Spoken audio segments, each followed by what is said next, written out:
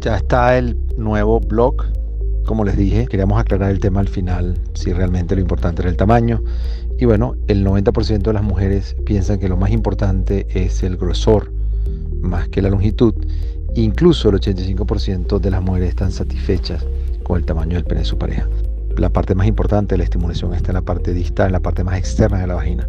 Por lo tanto, para lograr esa satisfacción no es necesariamente un pene más largo. Además, la vagina se adapta es una cavidad elástica a estas diferentes longitudes. Entonces, bueno, lean este blog, eh, por favor, coméntenlo, compártanlo. Y como saben, lo pueden ver en mi página web. Gracias.